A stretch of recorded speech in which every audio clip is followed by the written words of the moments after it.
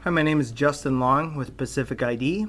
Uh, this test is on kind of a low contrast uh, silver and white Coors Light can. Um, a lot of the canning uh, recycling companies they struggle with this particular particular can. Um, a lot of times the reason is is because they try and read it with a laser. Right now I have the MS2 from Microscan, which is basically the same size as the MS3. The good thing with this, however, is that it has the ability to read this quite easily. The reason is is that um, it's a CCD based um, linear imager which sends out a diffused light source, which is LED instead of laser. So it picks it up quite easily. And so what I'm going to show you today is kind of uh, how it picks it up uh, and how easy that is.